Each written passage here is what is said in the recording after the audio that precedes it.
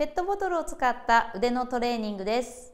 両足を腰幅に開いてあげて手のひらを正面にペットボトルを持っていきます。両脇を締めてそのままペットボトルを持ち上げます。そして伸ばしながら手のひらを内側から後ろへ向けるようにして両手を後ろへ伸ばして二の腕を意識する。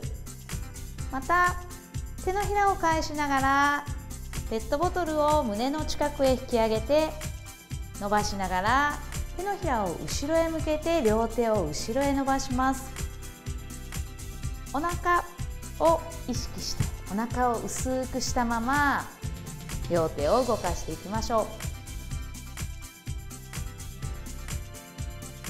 はい、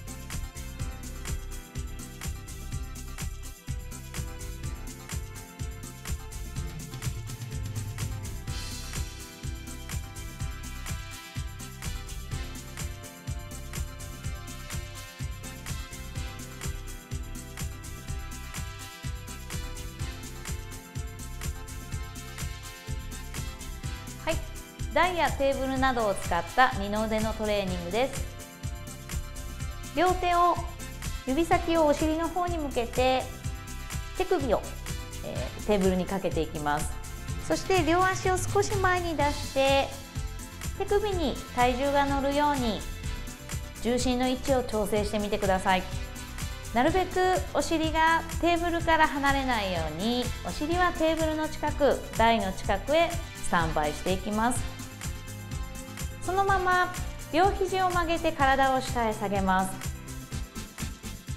手で押して体を持ち上げていきましょう。息を吸いながら肘を曲げて吐き出しながら肘を伸ばします。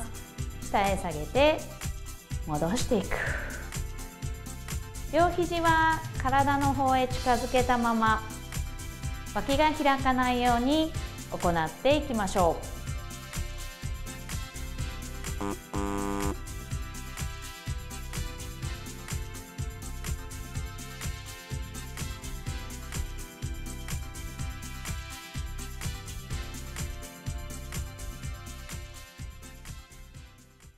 皆さんできましたか？お家でマット1枚引けるスペースがあればいつでもどこでも運動ができます。運動を取り入れて元気に過ごしていきましょう。